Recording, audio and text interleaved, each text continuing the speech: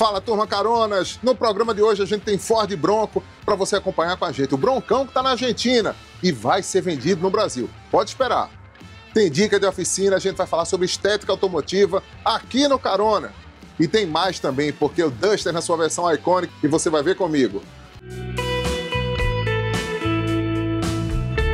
Aqui embaixo do capô eu tenho um 2.7 biturbo EcoBoost com 56 kg de torque aproximadamente, gente, e 343 cavalos de potência. Confesso a vocês que já já a gente vai fazer as impressões para saber como é que ele é, principalmente no todo terreno, no mundo off-road, porque o Bronco era um dos carros que eu sonhava, sonhava que a Ford tomasse como decisão de vender no mercado brasileiro. Por enquanto, a estreia dele aqui na Argentina. Mas imagina que esse carro está vindo aí dos Estados Unidos e vai ser importado para o mercado brasileiro, porque a F-150 foi. Você duvida que ela não vai trazer o Bronco? O que é que eu estou fazendo aqui então? Somente visitando a fábrica de motores? Nada disso. O que eu vi de Ranger já foi suficiente. Está aqui o Bronco, gente, para a gente mirar e enxergar um pouco mais desse carro. E eu quero mostrar para vocês o carro aqui em toda a sua lateral. Lá as rodas, a rodagem aí, aro 17 com pneu 100% para o mundo off-road, tá, gente? Então tá aí, uma rodagem especial que inclusive aguenta que você baixe a calibragem e enfrente um terreno mais rebelde. Você tem o Bronco Wild Track, assim como o Bronco Sport também.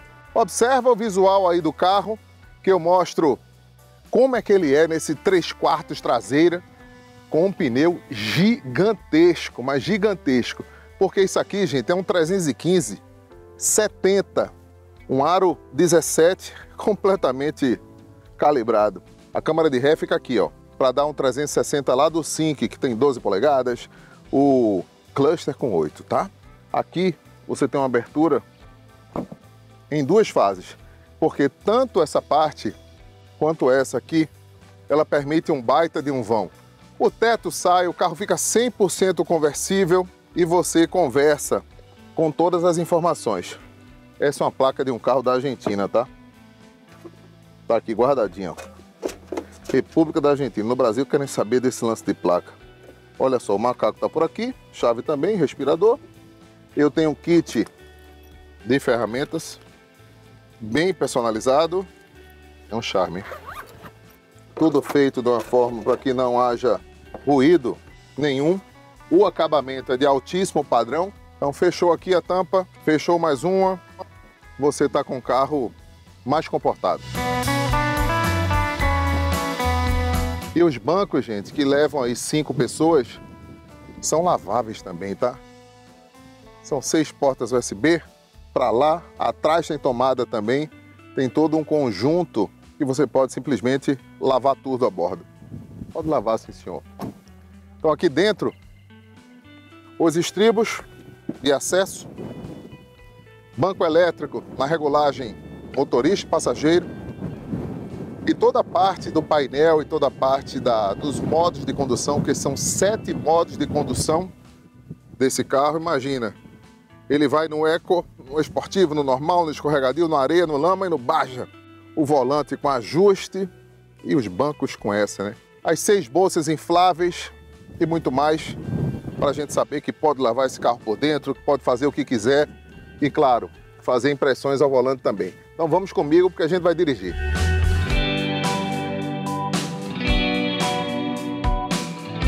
O Bronco Wildtrak, ele tem um EcoBoost 2.7 biturbo com 343 cavalos de potência, mais de 55 kg de torque, muita energia, né?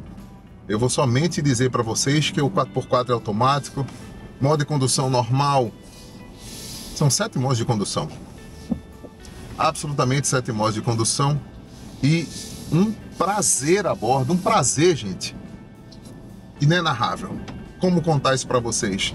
Como o carro desliza e como ele te, te envolve de forma exclusiva, porque isso é exclusividade. É andar no Bronco num terreno comum, como num 4x4 altura, elegância, nível, suspensão e aquele ponto de equilíbrio, né? Que se a gente pegar um pouco mais das imagens, que eu tô dando aqui e falando, a gente vai ver um carro super elegante que você pode tirar a capota, transformá-lo em conversível e nessa pista off-road que o Agostinho está mostrando aí é um off-road light o carro faz de tudo um pouco apertar o modo 4L que eu já fiz isso para mostrar e vamos para Vamos la pista off-road. a pista off-road, gente. Drive. Eu podia ter a condição de manual também, tá? Mas vou nessa. Vamos nessa? Vamos. Vamos. Então vamos nós. É um meio chatinho esse negócio que você tá fazendo Sim, sim. controle. Você procura lá à esquerda. Izquierda. Acá. Vamos aqui no off-road, gente. Poquito. Estou inclusive mostrando aqui a câmera frontal, onde a gente tem a visão do que está fazendo, do que está acontecendo no controle do off-road. E o broncão não tem como não passar. Não tem como. Estou aqui numa caixa de ovos, Freno. freno para subir. O carro está com a tração em três rodas. Claro. En el aire. Bloqueo de diferencial trasero. Aplicamos. Eu posso fazer aqui, ó, gente, que é o bloqueio diferencial Trasero. atrás. Y vamos suave. Então, bem devagarinho, ou seja, o carro tá mandando o comando.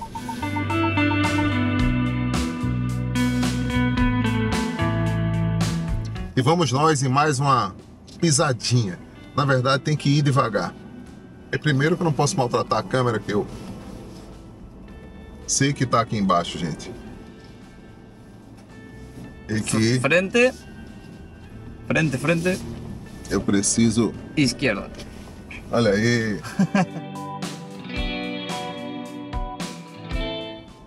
Gente, o carro vira como se fosse no modo crab. Esa está frenada. A roda tá freada lá atrás e a gente Y empujan las otras tres. empurra. É isso aqui, ó. Tô me exibindo aqui na Osmo. Mas é aqui que eu fiz. Eu bloqueei. E agora vamos embora. Soltar o freio. E dirigir. Mano errado.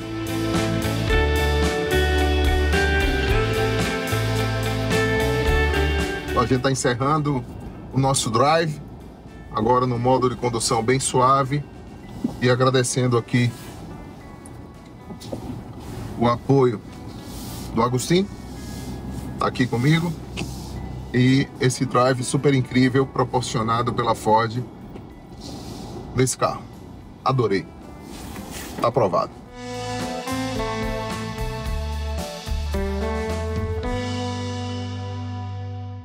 Ó, do Broncão a gente vai até o Duster. 4x2 diferente do 4x4. Bem mais em conta. Na minha opinião, o principal produto da Renault. Detalhes do Duster aqui no Carona. Esse é o Duster topo da gama, gente, é a versão Iconic, que custa aí algo em torno de 157 mil, depende da região que você viva. Mas eu quero contar para você qual é o segredo da Renault manter esse carro em alta e, claro, na minha opinião, ser muito mais vantajoso do que o próprio Cardian. Sabe por quê? Porque ele tem altura em relação ao solo. Com 237 milímetros, ele é de porte grande nesse segmento. Com 4,30 metros, o Duster ele se apresenta como um legítimo aventureiro urbano. Sem mimimi, tá? Sem você chegar para mim, mas é um Dacia. Esquece esse negócio, porque eles conseguiram, sim, caprichar nesse Duster, entregar um visual muito legal. E ele, com essa rodagem 60, 215, 60, 17, mostra que tem personalidade, mostra que tem atitude. E com esses apliques também que fazem a diferença. Aliás, quando a gente fala de diferença, gente, deixa eu tirar do bolso aquilo que você acabou de ouvir aqui, que é essa chave. Muita gente critica dizendo que essa chave não é nada, mas é muito legal você poder ter uma chave fininha como essa, colocar no bolso e sair de boa. Toda vez que você se afasta do Duster, ele fecha tudo. E toda vez que você se aproxima, ele vai abrir a porta. É dessa forma. 1.3 que você já sabe. Turbo. Fechou. Com 170 cavalos de potência, 27,5 kg de torque, tem energia, tem força, tem uma disposição legal. caixa automática que te entrega assim uma dirigibilidade bem correta, bem assertiva. E aqui você vê, hein? Gosta do recorte, do design? Imagina, esse carro faz sucesso, gente. Até na nova geração. Aqui dentro um porta-malas gigante de 475 litros. Ah, podia ter um acabamento melhor dessa tampa? Sim, senhor. Poderia ter. Eu gosto disso. Aqui atrás, quando você enxerga também como é que aparece a lanterna, o jogo lanterna, aí fechou porque eu me afastei, mas é assim que aparece, o TCE, assinado aqui atrás, Duster, apenas isso, e o modelo Iconic, que eu mostro por dentro. A gente vai dar um mergulho aí geral para conhecer como é esse carro na cabine. Eu vou mostrar o boas-vindas para vocês, porque aquela sinfonia no padrão Renault, hein, gente? Olha aqui como é que fica. Numa tela legal que eles conseguiram trazer do antigo Captor, né? Infelizmente o Captor por aqui não funciona mais. Então, o multimídia que me dá CarPlay Android Auto já faz a conexão direta sem fio. A caixa que eu falei para vocês com mais e menos que eu posso fazer isso. O controle do ar-condicionado com indicador digital é legal. A câmera que me posiciona aqui como eu quero, porque eu vou dar uma ré, ela já significa, já me dá, opa, faz para cá. A lateral, a lateral do lado de lá. Então são os funcionamentos que eu pontuo para cá. Então, start stop, que eu posso desligar aqui recomendo que você deixe ligado para poder gerar economia, tá, gente? A função eco no modo de condução, que ela vai te dar uma conduzida mais suave e esse volante que desde o Captor, mais uma vez, eles conseguiram trazer um ponto de equilíbrio bem bacana. Sim, muito plástico a bordo, mas tem esse acabamento aí em tecido na lateral. E eu tenho aqui, gente, duas portas USB, a moderninha e a antiga, USB-C e USB. O freio é manual, não é eletrônico, não me incomoda nada. E o espaço atrás é muito bom, viu? O carregador de indução tá aqui também, acabei de mostrar. O acabamento em cor é até legal, viu? Duas portas USB aqui atrás, 267 de entre eixos, então eu tô na posição lá que eu vou bem confortável. E ainda sobra um certo espaço aqui para mais um carona e quem vai aqui no meio tá naquele aperto, não tem jeito. Mas essa é a posição que você precisa conhecer aqui dentro do Duster. E deixa eu mostrar para vocês aqui, gente, as duas hastes de amortecedor Renault, parabéns porque entrega o estacionamento da folha do capô de forma diferenciada, né? Eu gosto muito disso. Uma zona de acabamento para poder manter o ruído a bordo tranquilo. Aqui na cabine, gente, a propulsão, essa propulsão Renault é outro aplauso que eu quero dar e a boca de ar aqui em cima. Ou seja, o carro enfrenta uma água que não está no gibi, mas respeite a metade da caixa de rodas, que é aquilo que a gente sempre preconiza aqui para vocês, tá bom? E a Renault diz isso também. Portanto, tá aqui a pegada mecânica desse 1.3 turbo que bebe etanol e gasolina. E você acha que diante dessa invasão chinesa que a gente está vendo por aí, gente, e os carros da concorrência, esse Duster pararia aí na sua garagem por 160 mil reais aproximadamente? Ou não? Então responde aí nos comentários, a gente tá junto, carona, e se liga porque tem muito mais pra gente ver por aqui. Esse é o Duster, que a gente já dirigiu muito. E na verdade o que eu queria trazer para vocês aqui era esse ponto do visual, do equilíbrio dessa versão que eu considero muito. E mais, o que é que você vai ver agora? Dica de oficina sobre a parte estética do mundo que envolve o embelezamento do seu automóvel. Se liga aí com a gente. Fala, caronas! Hora da nossa dica aqui, do nosso serviço, esclarecer para vocês algumas dúvidas em relação ao mundo dos carros e ao meu lado Elise Aguiar, ele é especialista na estética automotiva e também vai esclarecer uma dúvida que muita gente manda aqui, que é em relação à película, o filme que a gente coloca no vidro do carro, como é que o Contran deixa, como é o permitido. Explica aí, Elise, como é que a gente pode deixar de uma forma que não vai ter problema ao separar de uma pizza. Vou aproveitar esse espaço aqui para dar uma dica bem importante, tá? A gente está falando de película, que assim, o CONTRAN ele regula que a gente tem que ter pelo menos 70% de visibilidade nos vidros dianteiros, ou seja, vidro motorista, vidro passageiro e para-brisa, a película é essa, tá? até 70%. 70% de visibilidade, na realidade. E a partir dos vidros traseiros não tem regulamentação, entre aspas. Você pode usar qualquer grau de película que ela pode escolher, aquela pretona, né, que as pessoas dizem muito. E película hoje vai além da proteção com relação à privacidade. Né? Película a gente está falando de uma questão que ela traz um conforto térmico. Eu vou te mostrar aqui, ó. Põe a mão aqui, Luciano. Nesse formato, não precisa nem encostar. O que você achou? Tá quente? Dá para sentir bastante. E para a gente que mora em cidade com sol muito forte, né? E é isso que eu tô falando do sol hoje, todo mundo só fala de calor, né? Tem como te ajudar com isso, tá? Coloca a mão agora aqui. Impressionante, não passa nada. Dá para sentir realmente né, que tipo, rejeita. Ou seja, ela rejeita o calor, ela também pode trazer a questão de antivandalismo. 99% dos raios UV que ela rejeita vai beneficiar a proteção do câncer. Fala Lucas, carona, tudo bom? Prazer te ver por aqui, também te encontrar. A Caoa Sherry, ela fez um planejamento para poder entregar o Tigo 8 aí por volta dos meses de agosto e setembro. Eu tô achando que eles deram um pulo aí de 60 dias, porque também entrou no radar da empresa o Tigo 7 Plugin. A gente vai esperar alguma movimentação nesse sentido. Portanto, se você entender que lá por volta do mês de novembro o Tigo 8 Pro híbrido, ele completamente renovado, assim como o Max Drive pintar, tá de boa. Pelo menos é essa programação que eu tinha numa última atualização que eu estou trazendo para você, tá bom? Tamo junto. Corolla XEI 2024 ou 320 seminova 2020, 2021, vamos lá considerar isso. Falo para você o seguinte, que se você tem grana para as manutenções futuras da 320, é indiscutível, o carro é muito melhor. Mas se você é mais conservador, gosta de um sedã clássico, não quer investir muito e sabe que o XEI entrega aí qualidade, é aquela bolinha de borracha do Corolla, né? Você vai fazer um investimento bem razoável. Tem a opção de você enxergar também o Sentra nessa mesma faixa de preço, que acabou de ser renovado, e um pouquinmo mais o BYD King. Vale a pena você fazer uma avaliação e saber se o teu dinheiro se encaixa nesse orçamento no planeta dos sedãs, tá bom? Valeu. Fala Joaquim, tudo bom? Você está falando sobre os planos da Mitsubishi para 2024-25. Outlander, com certeza, a gente já está no, no radar desse carro. Né? Vi no Japão durante o Salão de Tóquio, nova L200 que estava por lá também e vai conviver com a atual L200.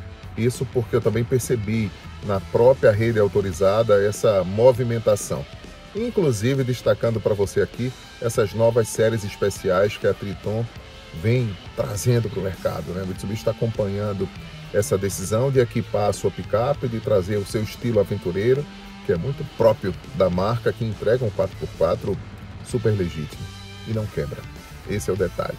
Portanto, 24, 25 de Outlander de L200 renovada e quem sabe a gente não vai ver aí um SUV abaixo do Eclipse Cross, aí como modelo 25/26. Já é uma medida aí. Eles querem crescer e a gente vai ver. E aí, Disseu, quanto vai custar o Tigo 7 plugin? Ninguém sabe. A única pista que eu posso dar para você que é aquela que eu estou perseguindo também de alguma forma. Eles surpreenderam muito com o preço do Tigo 7 Sport. E no Tigo 8 plugin ele já tem aí uma relação custo-benefício de 239, um pouquinho mais, bem bacana pode ter certeza que essa vai ser a tendência. Um preço razoável que impressione e que seduza de alguma forma esse segmento plugin para a Caoa Sherry, né, que vai dar continuidade a essa jornada, saindo um pouco do híbrido leve, que a gente já conhece, para a tomada. E o 7 é o próximo. E é isso, caronas. Mande o seu vídeo aqui para a gente no Carona. Manda lá a pergunta que você quer que eu responda por aqui e a gente se encontra numa próxima edição trazendo informações, é claro, de gerando empatia, que é isso que eu gosto de fazer aqui no UOL. Tchau, pessoal. Valeu, Carona. Até a próxima. Tchau, gente.